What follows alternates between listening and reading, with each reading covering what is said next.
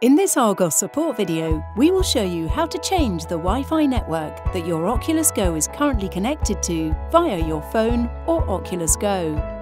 To change the Wi-Fi network using your phone, firstly turn on your Oculus Go and open the Oculus Go app. Then tap the Settings button from the bottom of the menu and choose the headset you are currently using. Tap Wi-Fi Finally, tap the new Wi-Fi network you'd like to connect to and enter the password if prompted. To change the Wi-Fi network from your Oculus Go, firstly switch on your Oculus Go and put on the headset. Select Settings from the bottom toolbar menu and select Wi-Fi. Then, select the Wi-Fi network you'd like to connect to. Insert the password if prompted.